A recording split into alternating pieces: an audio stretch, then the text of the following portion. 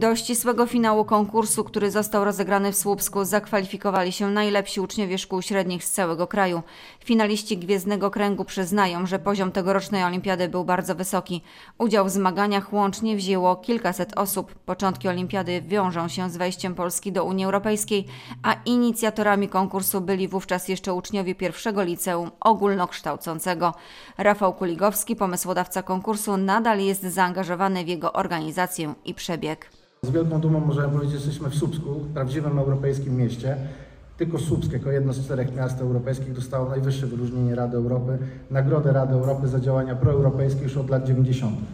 Więc tym bardziej, zresztą to, co powiedział kiedyś pan ambasador e, Marek Prawda, w momencie, kiedy Gwiezdny Krok odbywa się w Słupsku, Słupsk staje się stolicą europejską. I myślę, że, że to prawda. Organizację olimpiady od samego początku wspiera obecna prezydent Słupska Krystyna Danilecka-Wojewódzka. Gdy konkurs startował, była dyrektorką pierwszego liceum ogólnokształcącego w Słupsku. Zawierzyła wówczas swoim wychowankom i dała zielone światło Gwiezdnemu Kręgowi. Pamiętam rozmowy, kiedy pytano mnie, dlaczego jestem entuzjastką wejścia do Unii Europejskiej przez Polskę. Powiedziałam wtedy jako nauczycielka, że nade wszystko myślę o perspektywie dla młodzieży.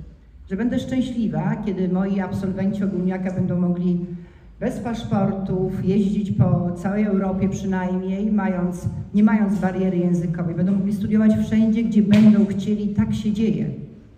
Laureaci tegorocznej edycji, podobnie jak ich poprzednicy, odbędą staż i wizytę studyjną w Brukseli w Parlamencie Europejskim. Będą mieli okazję zobaczyć, jak funkcjonuje Unia Europejska od kuchni. Jak co roku na jednym z trzech stawków w Parku Trendla wyznaczone zostało kąpielisko. Głębokość stawu to około 4 metry, szerokość basenu kąpielowego wzdłuż linii brzegowej wynosi 30 metrów. Dodatkowo wyznaczone zostały alejki, parking, miejsce do grillowania i rozpalenia ogniska. Kąpielisko czynne będzie każdego dnia, a dwóch ratowników będzie strzegło bezpieczeństwa kąpiących się w godzinach od 10 do 18. Każdego dnia rano sprawdzana będzie temperatura wody. Ratownicy będą też w zależności od pogody wywieszać białą lub czerwoną flagę. Na terenie kąpieliska wyznaczono miejsce dla najmłodszych, a także strefy ograniczone bojami czerwonymi i żółtymi. Woda w stawku została już raz zbadana przez Sanepid, który stwierdził, że jest ona zdatna do kąpieli. Podobne badania woda w kąpielisku w czasie wakacji przejdzie jeszcze trzykrotnie. Przed rozpoczęciem sezonu poprawiono też stan infrastruktury przy kąpielisku. Naprawiony został mostek przy stawku, trawa została skoszona, pojawiły się pojemniki na śmieci, a także toalety i zewnętrzna umywalka.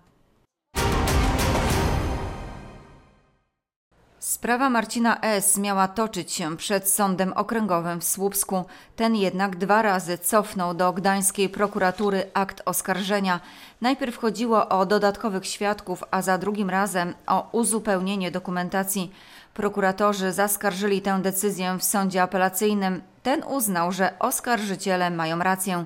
Według śledczych były generalny menadżer klubu koszykarskiego Energa Czarni Słupsk miał fałszować dokumentację zawodników i wyprowadzić z kasy klubu około 200 tysięcy złotych. Marcinowi S., który częściowo przyznał się do winy, grozi kara do 10 lat więzienia. Afera w klubie wyszła na jaw w 2018 roku. Jej pokłosiem było wycofanie Energa Czarnych Słupsk z rozgrywek ekstraklasy. Obecny klub koszykarski jest zupełnie innym podmiotem. Ponad 5 milionów 200 tysięcy złotych za rok 2022 i ponad 1 600 tysięcy złotych za rok 2021 tyle wynoszą straty Miejskiego Zakładu Komunikacji za ostatnie dwa lata. I o takie pieniądze prezes Miejskiej Spółki prosi władze miasta. Zdaniem prezes brak wsparcia spółki może doprowadzić nawet do upadłości przedsiębiorstwa i konieczności likwidacji 200 miejsc pracy. Prezydent Krystyna Danilecka-Wojewódzka przekazania MZK pieniędzy na pokrycie strat nie wyklucza, ale jak duże to będzie dofinansowanie? O tym władze miasta dopiero zdecydują.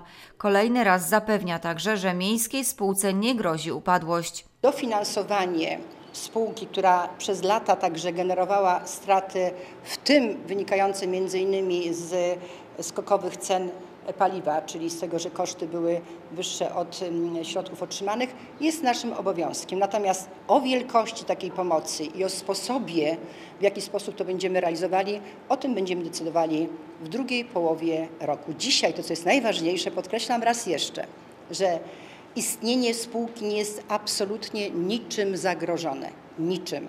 Spółka, zgodnie z uchwałą podjętą przez walne zgromadzenie, ma zagwarantowane swoje dalsze funkcjonowanie. O tym, jak miejska spółka nadal ma funkcjonować, jeszcze w tym tygodniu będą rozmawiać uczestnicy walnego zgromadzenia. Władze miasta swojego pomysłu nie zdradzają, ale chcą, by na stanowisku prezesa pozostała Anna Szurek.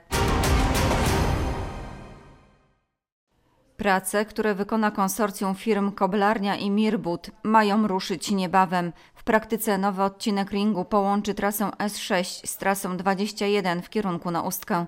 Droga przebiegać będzie od ronda przy ulicy Poznańskiej poprzez ulicę Słoneczną, przez rzekę i dalej Arciszewskiego, Leśną, Hubalczyków do Bohaterów Westerplatte, która łączy się z ekspresówką.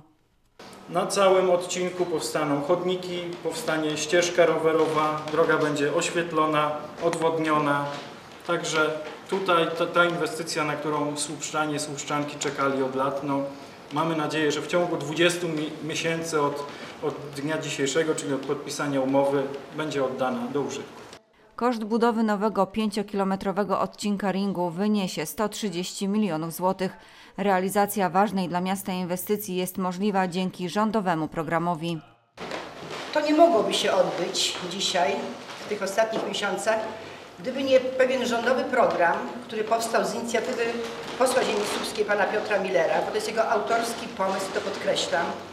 Nazwany został zwiększenie szans rozwojowych ziemi słupskiej jako forma rekompensaty za pewne ograniczenia inwestycyjne, które powstały wtedy, kiedy stworzono tarczę antyrakietową w Redzikowie. Na tym etapie budowa słupskiego ringu nie zakończy się. W najbliższym czasie miasto zamierza ogłosić konkurs na sporządzenie dokumentacji projektowej dla kolejnych dwóch odcinków.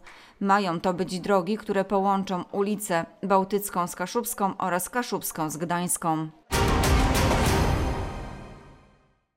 Uczestnicy tej przeprawy przyjechali z całego województwa pomorskiego, ale również z Pomorza Zachodniego, Wielkopolski, Kujaw, Mazur czy Mazowsza. Najmłodszy uczestnik ekipy skończył zaledwie 8 lat, najstarszy prawie 70. Na wszystkich czekała 160-kilometrowa trasa przez żwirowiska, mokradła, torfowiska, nieużytki i wodne brody. Kierowcy musieli pokonywać ostre zakręty, podjazdy, zjazdy i naturalne przeszkody, a po drodze mieli zaliczyć jak najwięcej z 210 punktów kontrolnych. Uczestnicy wydarzenia jechali na kładach, ale również w samochodach, często mocno przerobionych, a nawet zbudowanych od podstaw. Z niemal 70 ekip, które wystartowały z usteckiego portu, tylko trzem udało się zebrać komplet pieczątek potwierdzających zaliczenie punktów kontrolnych i dojechać na metę przed upłynięciem doby od startu. Najszybsza z trzech ekip wróciła do Ustki po 21 godzinach jazdy. Dwie kolejne potrzebowały 23 godzin. Pozostałym uczestnikom nie udało się dotrzeć do wszystkich punktów kontrolnych. Część startujących nie dokończyła trasy z powodu awarii sprzętu. Puchary burmistrza Ustki trafiły w sumie do 15 ekip, najlepszych w każdej z pięciu klas. Ten Grand Lubit Challenge składa się z kilku e, wyścigów i właśnie ten jeden jedyny jest, trwa 24 godziny. 24 godziny za kierownicą, e, bardzo dużo kilometrów, masę pieczątek, które to są takie elektroniczne pieczątki, które kierowcy muszą zdobywać. Także naprawdę fajna, e, fajna sprawa. W tym roku odbędą się jeszcze dwie edycje Grand Lubitsch Challenge z Dragon Winch. Pierwsza z nich pod koniec września, a kolejna na początku listopada. Będą to już wydarzenia jednodniowe, a trasa wynosić będzie około 50 km. Obie edycje odbędą się na terenie Pomorza Środkowego. Za wotum zaufania zagłosowało dziewięciu radnych, głównie z klubu prezydenckiego. Przeciw było sześciu z klubu Platformy Obywatelskiej, a siedmiu radnych z klubu Prawa i Sprawiedliwości wstrzymało się od głosu. Podczas tego głosowania trzeba było uzyskać większość bezwzględną, czyli co najmniej 12 głosów. Przed głosowaniem odbyła się debata, podczas której radni ze wszystkich trzech klubów Poruszali tematy dotyczące bezpieczeństwa, inwestycji, pozyskania dotacji zewnętrznych, edukacji, kultury, demografii i kondycji miejskich spółek. Prezydent Krystyna Danilecka-Wojewódzka podsumowała rok 2022 jako szczególny. Mówiła m.in. o poszerzeniu granic miasta i rekordowych inwestycjach, a to wszystko przy niekorzystnej sytuacji zewnętrznej, związanej głównie z konfliktem zbrojnym w Ukrainie i koniecznością pomocy uchodźcom zza wschodniej granicy. Natomiast stan miejskich wydatków budżetowych za ubiegły rok przedstawiła skarbnik miasta Anna Gajda. Radni najpierw przyjęli sprawozdanie finansowe, a następnie udzielili Krystynie Danileckiej Wojewódzkiej absolutorium z tytułu wykonania w ubiegłym roku budżetu. Po serii głosowań prezydent nie kryła zdziwienia i zaskoczenia brakiem wotum zaufania. Ta decyzja radnych dla Krystyny Danileckiej Wojewódzkiej formalnie nie oznacza jednak nic. Ponadto długą dyskusję wywołały zmiany w tegorocznym budżecie, głównie pieniądze na wirtualną strzelnicę, która ma powstać w mechaniku. To program rządowy, ale pieniądze na tę inwestycję ma również wyłożyć miasto. To nie spodobało się części radnych z Platformy Obywatelskiej. Kilkadziesiąt minut radni debatowali nad uchwałą w sprawie nadania rondu u zbiegu ulic Kaszubskiej i Kilińskiego imienia Urszuli Wyrwy. I choć nie odmawiali zasług kandydatce na patronkę ronda, podkreślali, że to miejsce powinno nazywać się inaczej oraz że należy zmienić tryb nazywania rond, skwerów i innych miejsc w Słupsku. Ostatecznie Urszula Wyrwa zostanie patronką tego skrzyżowania. Jednogłośnie natomiast radni zgodzili się nadać tytuł honorowego obywatela miasta Słupska Teresie Jerzyk, dyrektorce Hospicjum Miłosierdzia Bożego. Przyjęli również protokoły komisji rewizyjnej, a następnie przyjęli sprawozdanie z działalności tej komisji za pierwsze półrocze 2023 roku. Skarby z kapsuły czasu z kościoła świętego Jacka w Słupsku są już prezentowane w Zamku Książąt Pomorskich w Słupsku. Będzie je można oglądać przez najbliższe trzy lata. Na iglicy strąconej przez wichurę 1 lipca ubiegłego roku znajdowała się kula z kapsułą czasu. Kapsułę otwarto 12 października ubiegłego roku na terenie plebanii parafii świętego Jacka. Znalezione w niej artefakty zabezpieczono i przekazano do archiwum diecezji koszalińsko-kołobrzeskiej w Koszalinie. Archiwum natomiast udostępniło je do prezentacji w Słupskim Muzeum. Są to rękopiśmienne dokumenty z lat 1777, 1874 i 1898 opatrzone tłumaczeniem i krótkimi komentarzami. Monety z 1689 i 1692 roku oraz z lat 60. i 70. XVIII wieku, a także słupskie gazety, broszury i ulotka z 1898 roku.